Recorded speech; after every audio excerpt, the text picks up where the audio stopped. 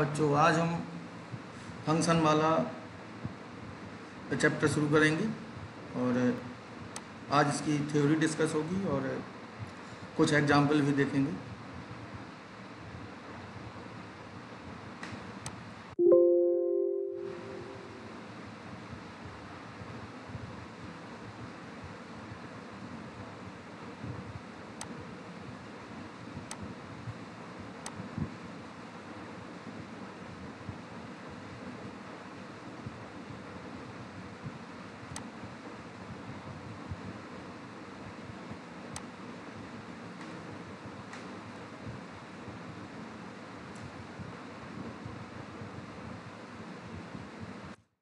पहले हम फलन की परिभाषा समझते हैं फलन क्या है और फिर इसके बाद इसके प्रकार और एग्ज़ाम्पल में आगे बढ़ें फलन को आप एक तरीके से मशीन कह सकते हैं ऑपरेटर कह सकते हैं, जिसमें हम इनपुट देते हैं और हमें यहाँ पे आउटपुट मिलते हैं।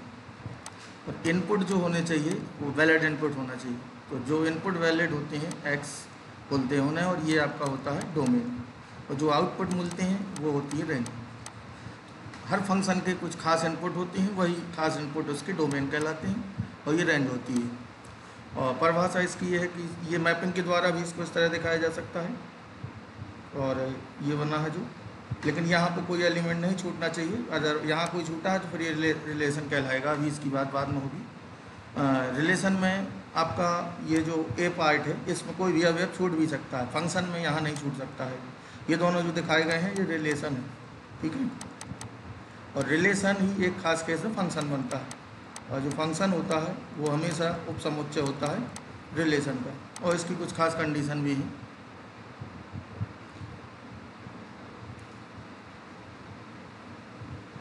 तो चलिए कुछ फ़ंक्शन यहाँ देखते हैं खास। जैसे यहाँ पे एक मैपिंग दिखाई गई है। एलिमेंट यहाँ पे हैं आपके A B C D A B C D ये ए के हैं और ये बी के हैं पी क्यू आर तो देखिए ए रिलेटेड है इससे।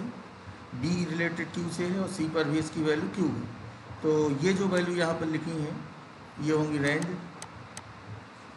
और ये जो एलिमेंट यहाँ पर लिखे हैं, ये होंगी डोमेन और ये जो पूरा होता है, ये कोडोमेन होता है बी यानी जो रेंज है वो हमेशा कोडोमेन के अंदर ही कुछ ना कुछ होगा। यानी उपसमुच्चय होता है ये कोडोमेन का। और जब ये दोनों इक्वल हो जाते हैं तो एक खास फ़ंक्शन बनता है, जिसे आच्छादक कहते हैं। उसकी बात अभी बाद में होगी। ये एक फ़ंक्शन दिखाया गया है यहाँ पे। तो ये वाला जो है फ़ंक्शन नहीं होगा, क्योंकि ए पर दो वैल्यू मिली है। ए पर देखिए, यहाँ पर पी वैल्यू भी दिखाई गई है और ए पर वैल्यू क्यू भी दिखाई गई है। तो ऐसा नहीं हो सकता है। एक इनपुट पे एक ही यूनिक आउटपुट मिलना चाहिए। तो ये रिलेशन भर होगा फ़ंक्शन नहीं होगा। यानी ये जो इनपुट वैल्यू है, एक इनपुट पर वाई जो मिलना चाहिए हमें आउटपुट वो यूनिक होना चाहिए। एक ही मिलना चाहिए हमें। आउटपुट। एक से ज़्यादा अगर मिल रहे हैं तो वो फ़ंक्शन नहीं होगा। आउटपुट होना चाहिए। अगर एक एक्स पर वाई के एक से अधिक मान मिल रहे हैं तो इसका मतलब वो फ़ंक्शन नहीं होगा। ठीक है? और ग्राफ से भी इसको देख लेते हैं। ग्राफ में इस तरह याद रखना है कि आ, कोई भी ग्राफ है जैसे एक पैराबोला लिया। वाइस के समांतर कोई भी रेखा खींचने पर फ़ंक्शन को रिलेशन को एक से अधिक जगह कट नहीं करना चाहिए। यहाँ पे दो जगह कट कर रही है तो ये फलन नहीं होगा ये सिर्फ़ रिलेशन होगा।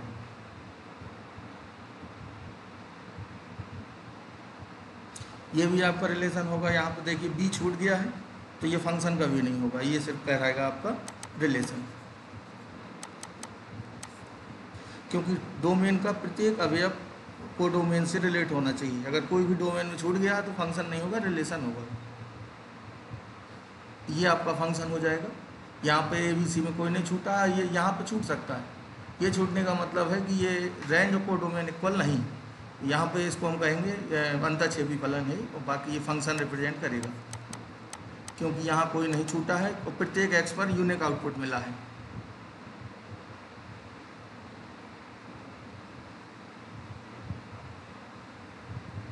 चलिए अब डोमेन की बात करते हैं। फलन की डोमेन किस तरह निकालना है और कुछ उदाहरण लेते हैं इसमें।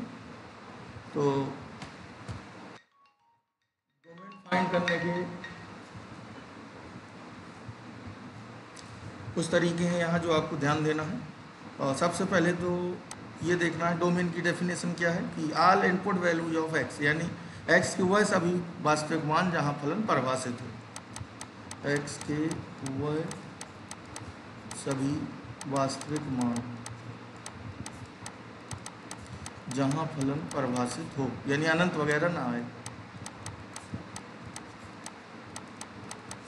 परिभाषित हो डोमेन कहलाती हैं। अब देखिए जरा, एक, अब इस रूप का कोई फ़ंक्शन दिया हो, एक बटे एक्सप्रेशन ये एक्सप्रेशन यहाँ कुछ भी हो पॉलिनोमियल हो सकता है, कोई फलन हो सकता है तो इस तरह का कोई फ़ंक्शन है अगर तो उसकी डोमेन निकालने के लिए जो भी यहाँ एक्सप्रेशन दिया है, व्यंजक है एक्सप्रेशन का मतलब तो ये ज़ीरो नहीं होना चाहिए, क्योंकि ये ज़ीरो हो जाएगा तो अनंत हो जाएगा।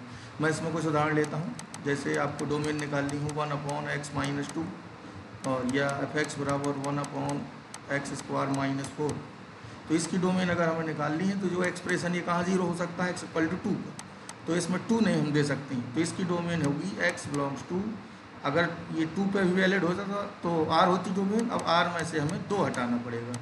तो इसकी डोमेन होगी आर माइनस टू या टू को छोड़कर एक्स के सभी वास्तविक मान। इसी तरह इस वाले में दो जगह ज़ीरो हो रहा है प्लस माइनस टू पर। तो इसकी डोमेन हो जाएगी R minus plus minus two इसमें दो वैल्यू छोड़ देंगे।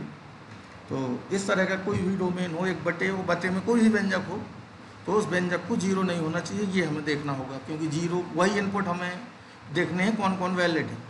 इसी तरह अगर रूट के अंदर दिया है, जैसे मैं इसमें भी एग्ज़ाम्पल लूँ दूसरे में, मान लीजिए हमें फ़ंक्शन दिया है f x equal to x minus two या f x equal to x square minus four तो ये जो जो भी यहाँ व्यंजक दिया है, ये आपका पॉजिटिव होना चाहिए। रूट के अंदर पॉजिटिव चीज़ ही डिफाइन है रियल में। और ज़ीरो भी डिफाइन हो जाता है तो इस तरह दिया हो तो एक्सप्रेशन को greater than equal to zero करा देते हैं। वहाँ से जो भी एक्स आएगा, वही डोमेन होगी। तो इसकी डोमेन होगी एक्स बिलोंग्स टू टू या इसी को हम कह सकते हैं x belong to two to infinity two से बड़ा है रियल नंबर है, और टू पे क्लोज आएगा इसी तरह यहाँ पर ये ज़ीरो होना चाहिए तो इसके फैक्टर हो जाएँगे x plus two x minus two greater than equal to zero. अब इसके क्रिटिकल पॉइंट दो आएँगे माइनस टू और प्लस टू और यहाँ से ये वेविकर मेथड से प्लस माइनस प्लस तो प्लस वाला रीजन एक ये है और एक रीजन ये तो इसकी फाइनल डोमेन हो जाएगी minus infinity to minus two union two to infinity तो ये ध्यान देना है। ये रूट वाला हो गया मामला। अब तीसरा है लॉग एक्स ग्रुप का कोई भी फ़ंक्शन हो, इनको फिर हम अपने इसी हिसाब से इनको जनरलाइज किया जाएगा। लॉग एक्स बेस ए दिया हो फ़ंक्शन एफ़ एक्स की वैल्यू हो लॉग एक्स बेस ए तो सबसे पहले तो पॉजिटिव चीज़ का लॉग लिया जाता है। ये कंडीशन लगाएँगे कि एक्स पॉजिटिव होना चाहिए। ए पॉजिटिव होना चाहिए क्योंकि बेस में है। और ए वन नहीं होना चाहिए। तो लॉग में तीन चीज़ देखनी जैसे मैं इसमें भी एक एग्ज़ाम्पल लूँ तीसरे में। F x equal to log x minus two और बेस मान लीजिए मैंने लिया। अभी मैं ई e ही ले लेता हूँ बेस ये। इसकी डोमेन देखनी है। तो सबसे पहले तो बेस देखेंगे तो बेस यहाँ पे क्या दिया है? ई e। तो ए का मान ई e हो जाएगा तो ई वन कभी नहीं होगा। E not equal to one और ए ई पॉजिटिव भी होता है तो ये दो कंडीशन आपकी फुलफिल हो गई यहाँ अब आपकी एक ही बचेगी, क्योंकि ए का मान ई जब हो जाएगा तो हम ए पॉजिटिव है कि नहीं और ए वन हो रहा है कि नहीं, ये तो यहीं से दिख जाएगा। तो बस अब एक चीज़ भर देखनी है कि एक्स माइनस टू क्या होना चाहिए? ग्रेटर देन ज़ीरो यानी एक्स ग्रेटर देन टू ये इसकी डोमेन हो जाएगी।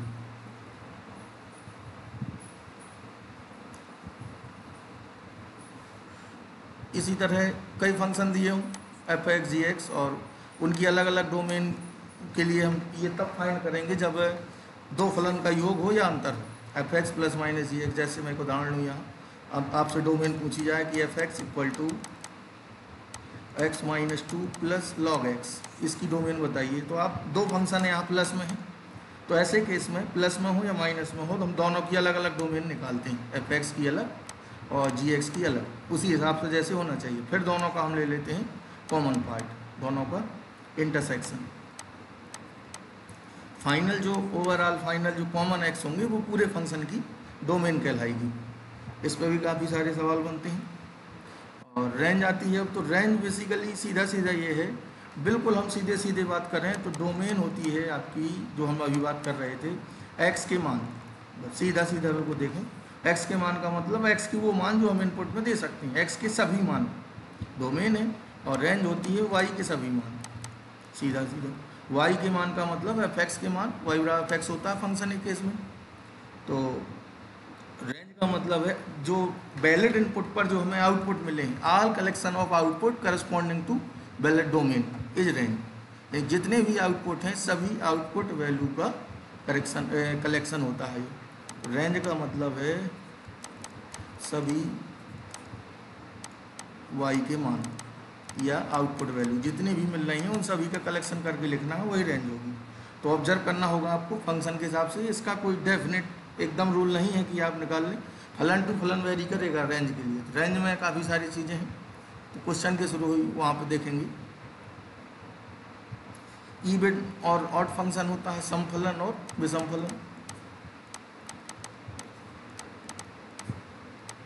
तो इसकी कंडीशन है तो जो सीधे याद रखना है आपको। इवन फ़ंक्शन है कंडीशन ये है और ये ऑड की यानी एक्स की जगह पे माइनस एक्स रखने पर अगर फलन ना चेंज हो तो इवन होता है। यानी सम फलन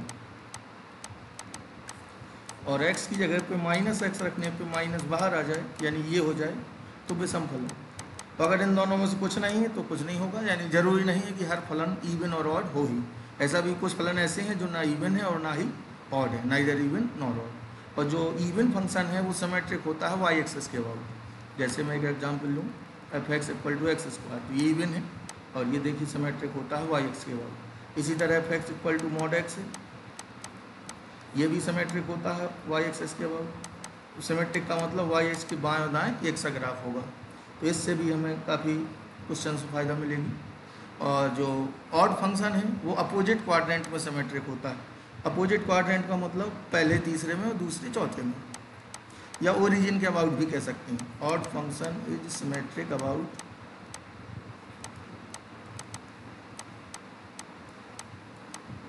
origin या अपोजिट क्वाड्रेंट भी कह सकते हैं। अपोजिट क्वाड्रेंट में सिमेट्रिक होता है। इवन ऑड बस इसी तरह चेक करेंगे। अब फल उनकी कुछ डेफिनेशन है वन वन मैनी वन तो इनको भी अभी एक्सप्लेन कर देते हैं। उसके पहले हम कुछ फ़ंक्शंस के बारे में थोड़ा सा देखते हैं और उनके ग्राफ के बारे में भी देखते हैं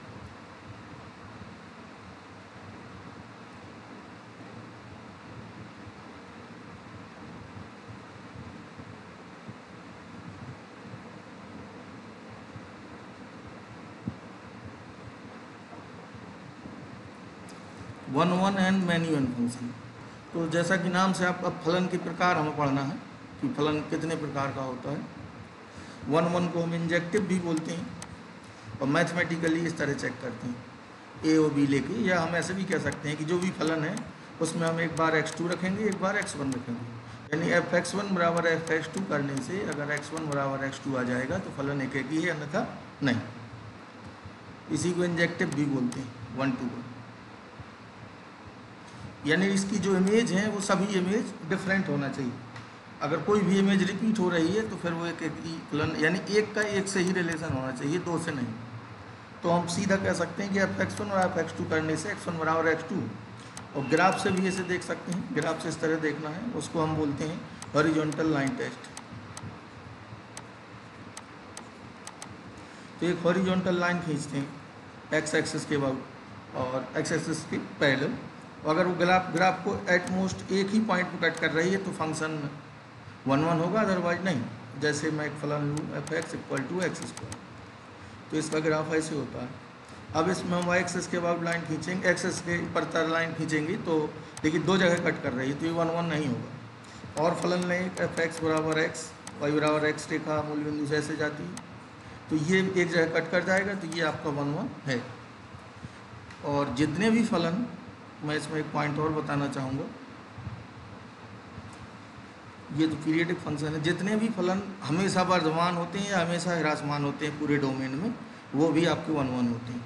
यदि कोई फलन अपने पूरे डोमेन में लगातार वर्धमान है या लगातार हिरासमान है तो भी वह वन वन होता है। तो इसको हम ऐसे समझेंगे कि यदि एफ़ एक्स कोई फलन है एफ़ एक्स फलन का हम एफ़ डेस एक्स निकालें और एफ़ एफ़ एक्स पूरे डोमेन में या तो ग्रेटर देन ज़ीरो हो या पूरे डोमेन में लेस देन ज़ीरो हो। पूरे डोमेन में, जहाँ भी डिफाइंड तो वो आपका वन वन हो जाएगा। इस तरीके का भी ध्यान रखना है, यानी लगातार वर्धमान है या लगातार हिरासमान है। जैसे ये लगातार वर्धमान ही गाते, ये भी लगातार वर्धमान है लॉग एक्स तो एक ही जगह कट करेगी लाइन ये सब वन वन फ़ंक्शन है। अगर वर्धमान ह्रासमान दोनों हैं तो वो कभी वन वन नहीं हो पाएगा।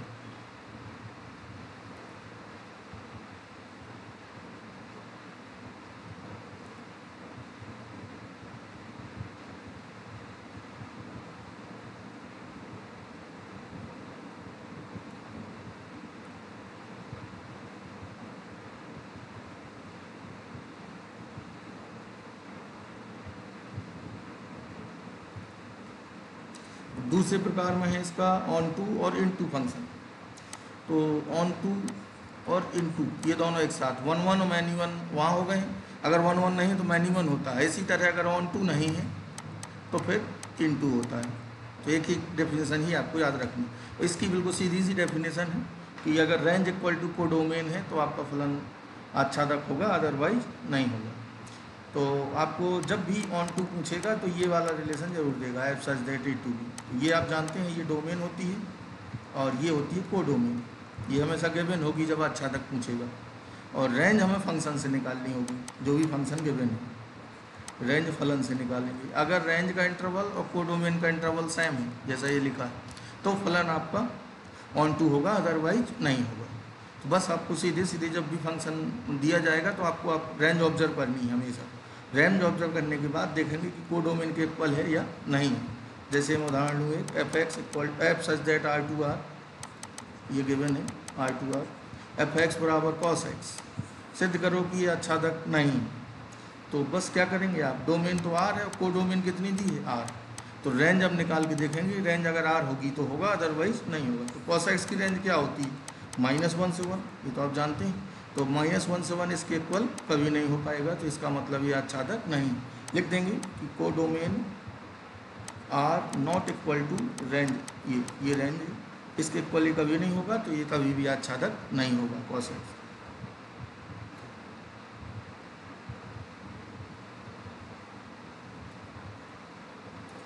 ये कुछ फलों के ग्राफ हैं। लॉग एक्स का है और लॉग की कुछ वैल्यू भी यहाँ पे आप लिख सकते हैं कि लॉग ज़ीरो की वैल्यू की अगर बात की जाए तो वैसे तो डिफाइन नहीं लेकिन इसकी टेंडिंग वैल्यू होती है माइनस इन्फिनिटी और लॉग वन की वैल्यू किसी भी बेस पर बेस ए पर हमेशा क्या होती है? ज़ीरो और निगेटिव क्वांटिटी का लॉग नहीं लिया जाता है। देखिए यहाँ पर जो भी ग्राफ बने हैं दोनों, वो एक्स एक्स पॉजिटिव एक्स के लिए ही बने यानी डोमेन हमेशा पॉजिटिव होती है। रेंज दोनों की आर होती है। इंक्रीजिंग फ़ंक्शन भी दिखाए गए हैं, देखिए इधर ये दिया है आपका ए घात एक्स में जब ए बड़ा होगा तो ये केस है जब ए छोटा होगा। जैसे ए घात एक्स में ए बड़े वाला केस हम लें टू की पावर एक्स फाइव की पावर एक्स टेन की पावर इनके ग्राफ इस तरह आएँगे। ये वाली ग्राफ टू की पावर एक्स और टेन की पावर एक्स इसी रहेंगी। अगर एक में ही बनाना है तो थोड़ा देखना होगा, कौन ऊपर रहेगा, कौन नीचे अदरवाइज़ ट्रिक तीन की यही रहेगी। अगर एक से छोटा है, जैसे एक बटे दो घात एक्स का बनाना हो एक बटे पाँच घात एक्स बनाना हो, दो बटे पाँच घात एक्स बनाना हो तो आपका ये इस तरह बनेगा। ये हमेशा डिक्रीजिंग होगा, ये हमेशा इंक्रीजिंग होगा।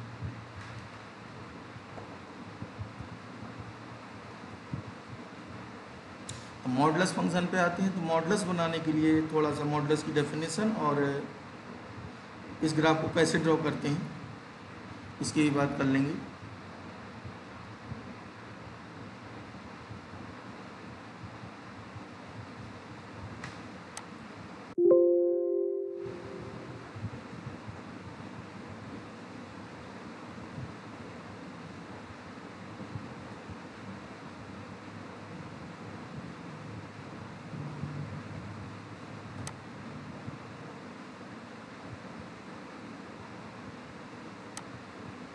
तो ग्राफ में सबसे पहले हम मोड का ही ग्राफ देखते हैं और स्ट्रेट लाइन के ये वाले आपको यूजफुल रहेंगे काफ़ी। तो मैं अभी अब बात कर रहा हूँ सीधे सीधे कि f x equal to a x plus b इस रूप के ग्राफ बनाने हैं। ये लीनियर फ़ंक्शन है। इसी को हम वाई भी लिख सकते हैं हमेशा ए एक्स प्लस बी तो ये आसान भी है बनाना। कोई भी स्ट्रेट लाइन ग्राफ बनाना हो आपको इन जनरल इस तरह की भी स्ट्रेट लाइन दी हो। A x plus b y plus c equal to zero इस रूप का कोई भी ग्राफ बनाना हो तो एकदम ही आसान है। आपको सीधे सीधे ये पता करना है कि ये एक्स और वाई एक्सेस को कहाँ कट करेगा। एक्स बराबर ज़ीरो रख के वाई निकाल लेंगे और वाई बराबर ज़ीरो रख के एक्स निकाल लेंगे। इसके बाद इन दोनों पॉइंट को बनाकर इनको मिलाने वाली एक लाइन ड्रॉ कर देंगे। माइनस सी अपॉन ए मान लीजिए ये है और zero comma minus c upon b मान लीजिए ये अब इनसे वाली, इनसे जाने वाली स्ट्रेट लाइन इस तरह ही होगी, ये आएगी। तो ये लाइन बन जाती है। स्ट्रेट लाइन का ग्राफ हमेशा बनाना आसान है और आप इंटरसेप्ट पता करके एक्स, वाई एक्सेस पे इसको सीधे मिला सकते हैं। कुछ पर्टिकुलर लाइन होती हैं। X equal to plus minus a और y equal to plus minus a root. तो x equal to a line जो होती है, x equal to a line आपकी इस तरह होगी। और x equal to minus a line यहाँ होगी। वाई इक्वल टू ए ऐसे होगी और y equal to minus a नीचे होगी। वाई इक्वल टू माइनस ये पर्टिकुलर लाइन से और ओरिजिन से जाने वाली कोई भी line y equal to m x है तो वो आपकी इस तरह बनेगी। Y equal to m x और एम पॉजिटिव है तो ये रहेगी एम अगर निगेटिव है तो ये इस तरह बनेगी। ये एम नेगेटिव का केस है और ये एम पॉजिटिव का केस है। जैसे y equal to minus three x बनाना हो और y equal to minus plus three x बनाना हो ये बनाना हो और एक एग्ज़ाम्पल और ले लेते हैं. माइनस थ्री एक्स बनाना हो. तो y equal to three x origin से ये हो जाएगी इस तरह. और माइनस थ्री एक्स वाली लाइन ये बनेगी इस तरह आएगी. अब इन्हीं में अगर मॉड लगाना हो तो उसको भी समझ लीजिए. तो इसका सीधा तरीका है कि अगर हमें एफ़ से ये सभी के लिए वैलिड होगा मॉड एफ़ एक्स खींचना। तो सीधा सीधा एक्स अक्ष के नीचे जो भी ग्राफ है एक्स अक्ष के नीचे वाले पार्ट की पार्ट की एक्स अक्ष के सापेक्ष एक्स अक्ष के सापेक्ष इमेज लेकर मिटा देते हैं। इसका क्या मतलब हुआ? यानी हमें ये देखना है, पहले हमें एफ़ एक्स का ग्राफ बना लेना है, जैसे मैं आपको खींच के दिखाता हूँ मॉड एक्स का ही, ये। तो पहले मैं खींचूँगा वाई इक्वल टू एक्स फिर मॉड एक्स का। तो y equal to x line आप जानते हैं ओरिजिन से जा रही है और बिल्कुल मध्य बिंदु से जाएगी, पैंतालीस अंश पे ऐसे। ये वाई इक्वल टू एक्स अब हमें इसमें मोड लगाना है। तो आपने क्या लिखा? एक्स एक्स के नीचे वाले पार्ट की एक्स एक्स के सापेक्ष इमेज लेंगे और उसको मिटा देंगे नीचे वाले। तो इसकी इमेज आएगी, ये। ये पार्ट फिर मिटा दिया जाता है, ये वाला। और इसकी इमेज एक्स एक्स को मिरर मानकर इस तरह आएगी तो जो फाइनल मॉड एक्स अगर आप होगा, वो ये होगा। यानी मॉड एक्स अगर पूरे में लगा है तो एक्स एक्स के नीचे नहीं बनेगा ग्राफ पूरा पूरा ऊपर रहेगा। इसी तरह अब हमें खींचना है एक्स माइनस टू का मोड तो पहले हम एक्स माइनस टू खींचेंगे। एक्स माइनस टू लाइन इस तरह आएगी। अभी मैं डायरेक्ट बना दे रहा हूँ। ये टू ज़ीरो से जाएगी और ये ज़ीरो माइनस टू से। इसका अगर आप बनाना है तो ये वाला पार्ट हट जाएगा और इसकी इमेज आ जाएगी। ये हो जाएगा आपका एक्स माइनस टू का मॉड ये ये वाला। अब आप इसकी डोमेन रेंज अवकलनीयता सब कुछ बता सकते हैं बहुत आसानी से देख के। अगर देखा जाए तो ये वाला ज़ीरो पर अवकलनीय नहीं होगा, ये टू पर नहीं होगा और ये सतत हमेशा है दोनों और वर्धमान राजमान सब कुछ देख सकते हैं।